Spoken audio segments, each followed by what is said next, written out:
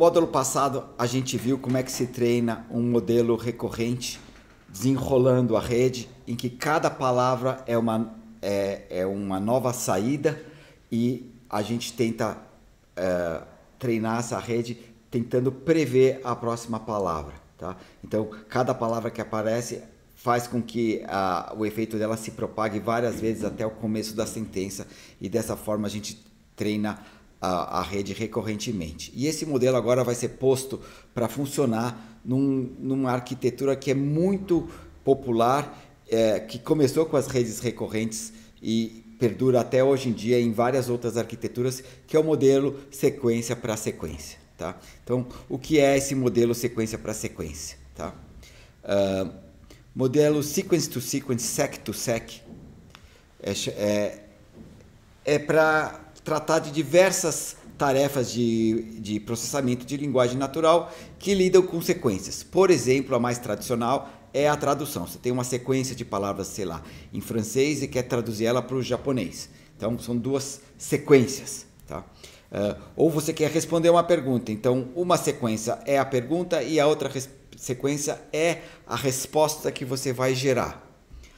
Outra forma de fazer sequência, sequência, por exemplo, é fazer a tradução de áudio para texto, speech recognition, reconhecimento de, de fala, tá? É, então você recebe uma sequência que são sinais de áudio coletados no microfone e traduz isso para uma série de palavras que corresponde ao áudio inicial em português. Tá? É o que é seria a, a geração automática de legendas para falas. Então, esse sec to sec, ele é muito uh, popular e uh, ele usa uma característica importante da, das redes recorrentes, que elas não apenas são capazes de processar sequências, mas elas também são capazes de gerar sequências. Então, uma rede certamente vai, com, vai, vai codificar a sequência de entrada e a segunda rede vai pegar essa, essa sequência codificada e gerar uma sequência de saída. Essa é a ideia do sec-to-sec. Tá?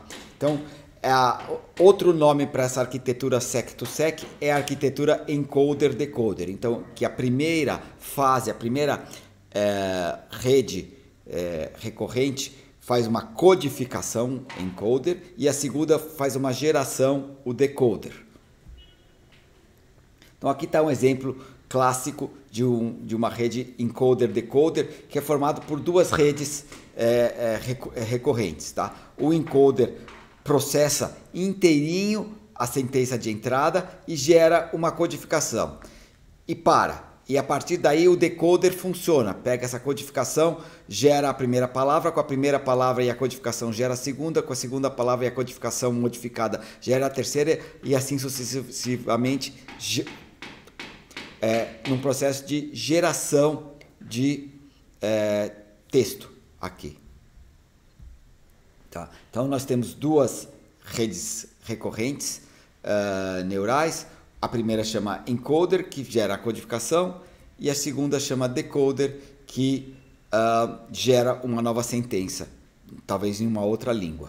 Então aqui nós temos uma codificação uh, encoder-decoder em português, tá? Nós temos o pássaro pequeno alçou seu voo. Isso é traduzido para o inglês como uh, The little bird took its flight.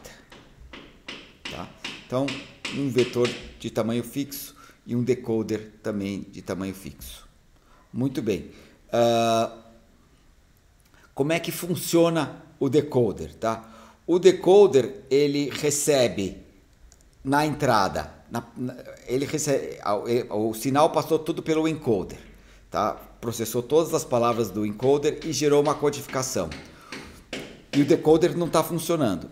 Quando o decoder começa a funcionar, ele recebe a codificação vinda do encoder, que é a camada intermediária, aquele H que, que é retroalimentado na saída do encoder, ele gera essa codificação, ele é encarado como se fosse uma codificação de toda a sentença de entrada, e a gente começa, cutuca a, a, o decoder também com uma entrada que é o start. Aí você pega esses dois aqui, ele produz uma nova, uh, uma saída, que então a partir do, do C e do start ele ele produz o DAN e gera uma nova, um, um novo uh, estado é, oculto intermediário. Com esse estado então, intermediário e a palavra que foi gerada uh, na saída, ele agora é a palavra de entrada, então com a primeira palavra e, e a codificação modificada, a gente gera a segunda.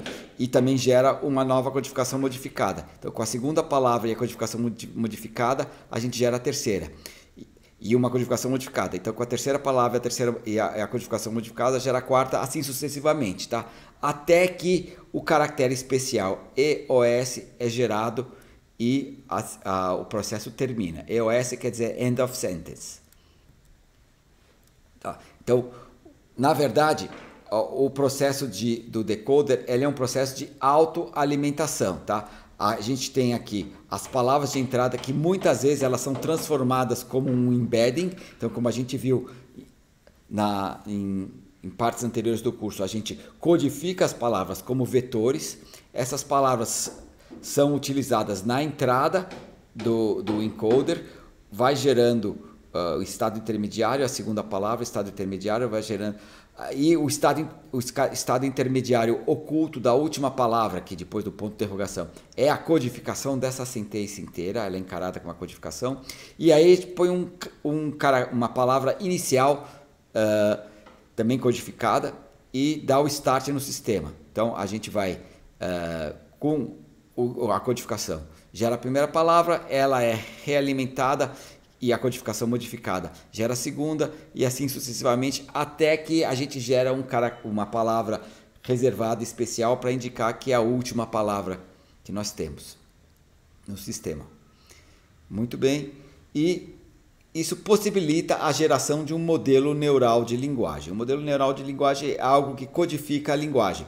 Aliás, aqui nós temos uma linguagem de codificação, pode ser, por exemplo, o português, e uma linguagem de decodificação, que pode ser o, o inglês. Ou pode ser uma linguagem de codificação também no inglês para uma pergunta e uma linguagem de codificação da resposta também no inglês. Então, nós temos aqui várias possibilidades. Tá?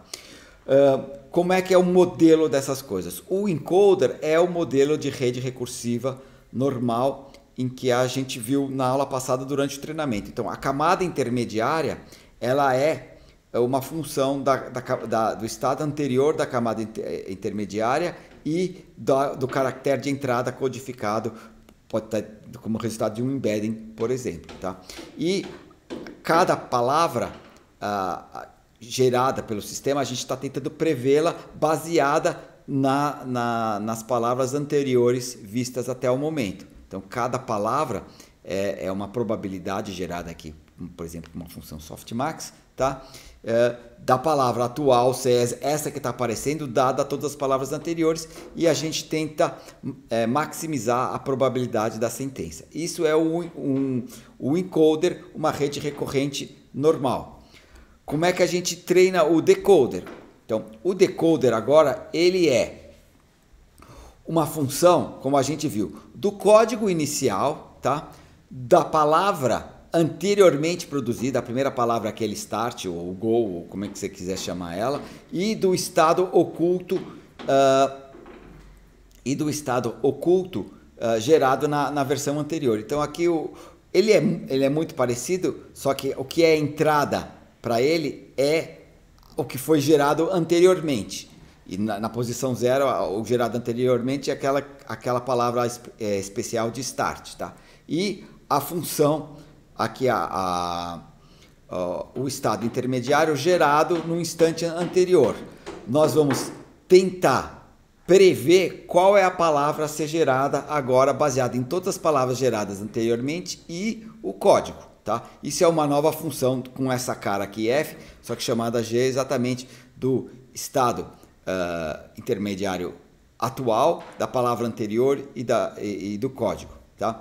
E como é que a gente vai gerar esse y? A gente vai ver qual é a palavra que maximiza a probabilidade de que eu estou gerando a palavra certa. Então eu vou pegar essa probabilidade aqui, vou calcular, ver todas as possíveis palavras que estão no meu vocabulário, ver qual delas é que maximiza essa probabilidade aqui e essa vai ser a palavra que nós vamos gerar no sistema. Então é dessa forma que o, o, a rede recorrente decoder gera uma saída, maximizando a probabilidade da saída. Qual é a palavra mais provável de ser emitida nesse momento? Tá? Uh, e com isso nós temos várias possibilidades de utilizar uma rede recorrente. A rede uh, sequencial fit forward, ela você tem uma, um elemento na entrada e um elemento na saída. Quando você tem uma rede recorrente, você pode ter uh, um para vários. Você pode ter uma, um caractere de entrada, uma, um, só uma entrada e isso aí gera uma sequência, como se a codificação. Esse é o que faz um decoder. Você pega a codificação, gera uma saída, essa, essa saída mais a entrada gera uma outra, gera uma outra, gera uma outra. Você pode, a partir de um único peteleco inicial, você ter uma saída inteira. A gente pode ter vários para um. Quando a gente pega exatamente o que o decoder faz, a gente põe a sentença, o encoder faz, perdão, a sentença inteira uh, é, é, é, inserida e no final a gente tem aqui o, a codificação da sentença.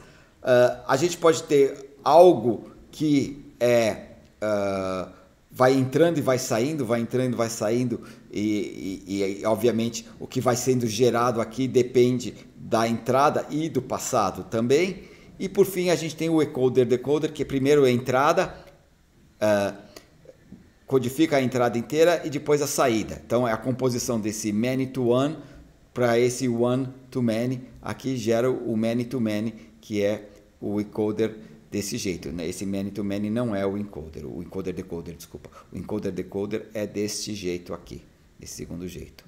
Muito bem. Uh, onde o tempo da entrada e da saída são diferentes. E é, por, e é isso que diferencia o encoder-decoder desse many-to-many aqui à esquerda. Uh, então, uma das vantagens da, da, da categoria encoder-decoder está tá ilustrada nessa brincadeira aqui, que o cara, como é que você faz para melhorar? Statistical Learning, você tem que fazer um monte de coisa. Aqui, o que você pode fazer para melhorar a sua performance é colocar uma camada a mais. Da mesma forma como uma rede fit forte, você podia ter duas, três camadas, aqui também nós temos duas, três camadas. Então a gente pode ter, por exemplo, um, uma rede encoder-decoder de duas camadas sem nenhum problema.